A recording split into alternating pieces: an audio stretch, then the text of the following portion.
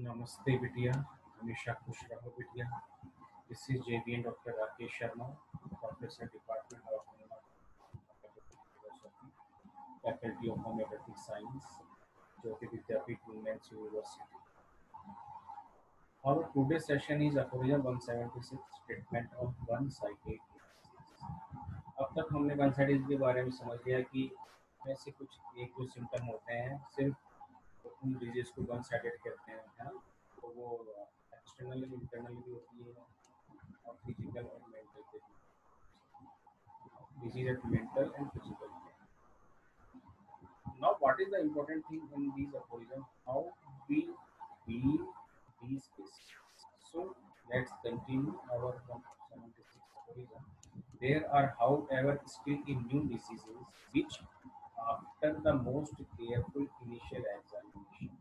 जैसा कि 175 में हमने बात करी थी कि फिजिशियन के लिए सिम्टम्स कम होने की वजह से प्रॉपर प्रोपेलिटी ऑफ़ सिम्टम नहीं बन पाते। तो वहाँ पे मेडिसिन सिलेक्शन डिफ़िकल्ट हो जाता है। डॉक्टर निमिल कहते हैं कि हमें वो केयरफुली एग्जामिन करना पड़ेगा केस को और केयरफुली प्लीज़ टेकिंग करनी पड़ेगी तो हमारे पास में कुछ इम्पोर्टेंट सिम्टम्स आ सकते हैं, जिस पे जिसको बेस करके हम आगे बढ़ सकते हैं। तो there are however still few diseases which after the most careful initial examination present but one or two severe violent symptoms. One or two characteristic violent symptoms इसमें देखने को मिल सकते हैं while all the others are but indistinctly perceived जो स्पष्ट रूप से हम उनको देख सकते हैं समझ सकते हैं in this case we have to conduct careful case taking it will reveal one or two important symptoms in the